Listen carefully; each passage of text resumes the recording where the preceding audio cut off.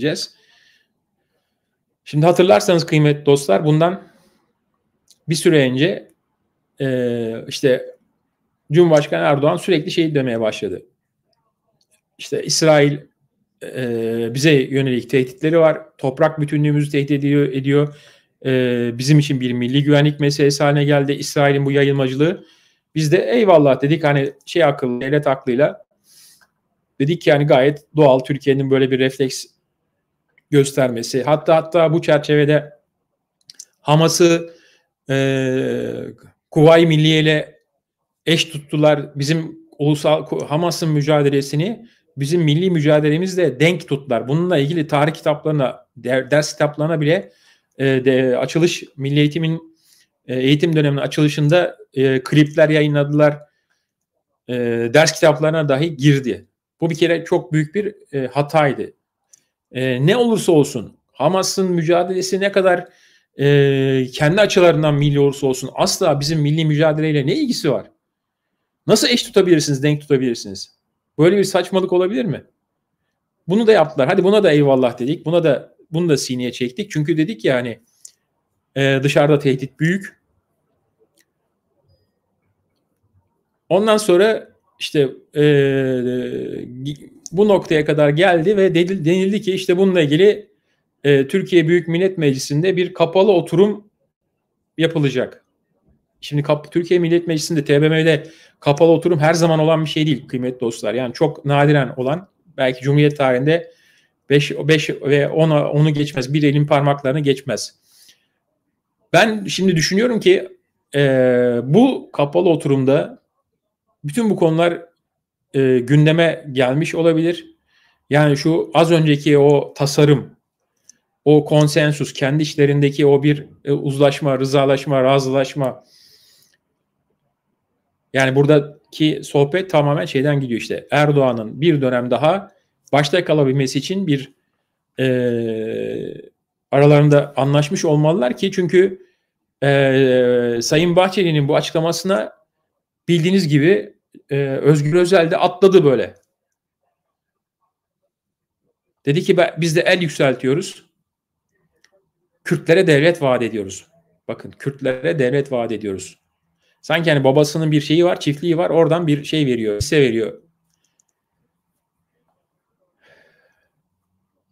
O şeyleri saymıyorum bile. Yok Deva Partisi, yok bilmem işte Davutoğlu'nun partisi falan. Onlar zaten e, bu işin yancıları. Böyle bir e, tabloyla karşı karşıya kalmış olduk. E, CHP'nin de bu işin bir parçası haline getirildiğini e, anlamış oluyoruz. Böylece burada e, artık şu meseleyi iyice hani e, netleştirmek lazım. Neden Bahçeli e, Erdoğan'a bu kadar angaje bir vaziyette? Bu sadece Kürt meselesini e, çözmek adına bir şey mi? Hani bir e, ne derler? Devlet haklı sergilenmesi mi yoksa başka şeyler mi var?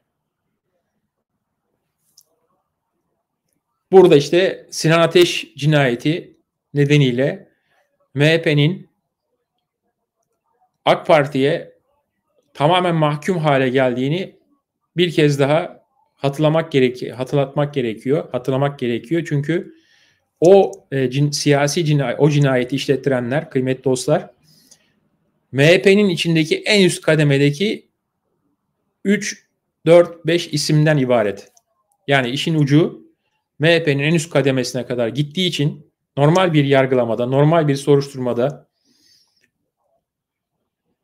MHP'nin Sinan Ateş cinayetiyle ilgili mesuliyeti, sorumluluğu, ihmali, yönlendirmesi, azmettiricilerin e, MHP'den olması e, kabak gibi ortaya çık e, çıkacak olmasına rağmen e, bugüne kadar davanın savsaklanması öyle ya da böyle işte e, farklı mecralara yönlendirilmesi neredeyse Sinan Ateş'i e, FETÖ'cü olmaya kadar suçlamaya varan şeyler kullandılar, ifadeler kullandılar. Hani sanki öldürülmesi FETÖ'cü olsa öldürülmesi hakmış gibi bir torbacı tarafından. O da ayrı bir garabet.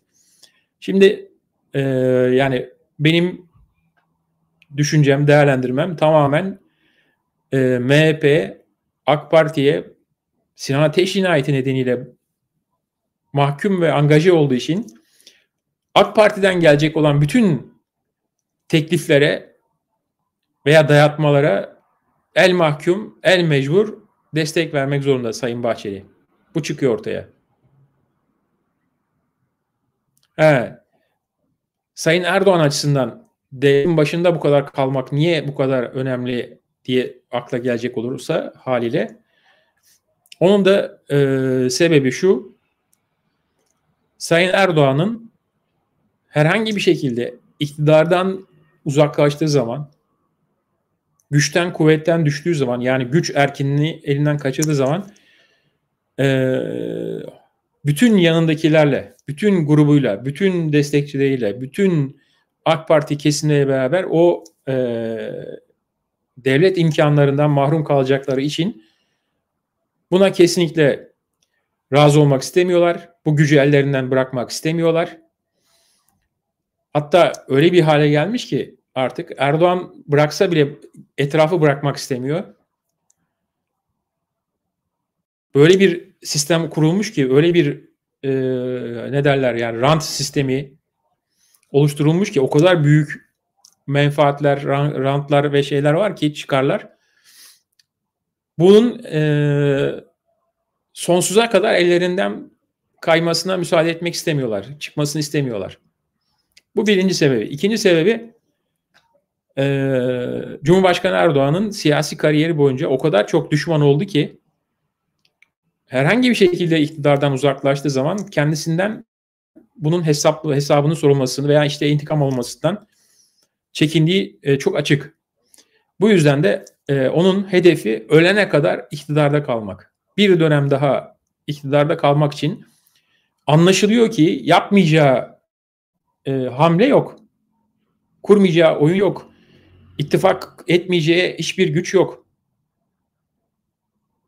Yani bütün o milli duruş e, söylemleri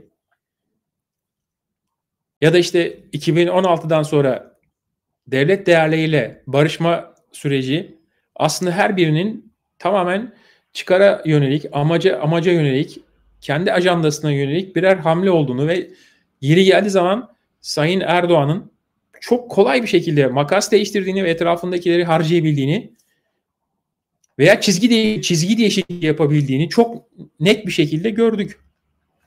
Bu son olay tam bir turnusol kağıdı oldu kıymetli dostlar. Cumhur İttifakı açısından tam bir turnusol kağıdı oldu. Bu saatten sonra Cumhur İttifakı'nın herhangi bir şekilde milli, yerli olduğuna dair hiçbir argümanın geçerliliği kalmadı. Tam aksine AK Parti kuruluş yıllarında çok dile getirilen Sayın Erdoğan'ın Büyük Orta Doğu projesinin eş başkanı olarak üstlendiği misyonun e, e, devam ettiği hatta hatta bununla ilgili e, e, artık giderek hızlanan bir süreç yaşadığımızı çok net bir şekilde söyleyebiliriz. Bu çerçevede bizleri de Türk milliyetçilerinde ciddi manada hem aldattı hem hayal kırıklığına uğrattı. Bakın bununla ilgili ben e, programda e, özür iste, istedim. Özür dedim takipçilerimden, dostlardan. Çünkü bizi de gerçekten yanılttı. Yani ciddi manada yanılttı. Ciddi manada biz kandırılmışız yani bu çerçevede biz devletin e, devlet haklı diye birçok konuya yaklaşırken dostlarımız bizi uyarıyorlardı. Bakın bunlara güvenmek olmaz. Bunların samimiyetine inanmak olmaz. Bunlar her kalıba girer. Ama asla milli olamazlar. Diyenler, diyen dostlarımız maalesef haklı çıktılar.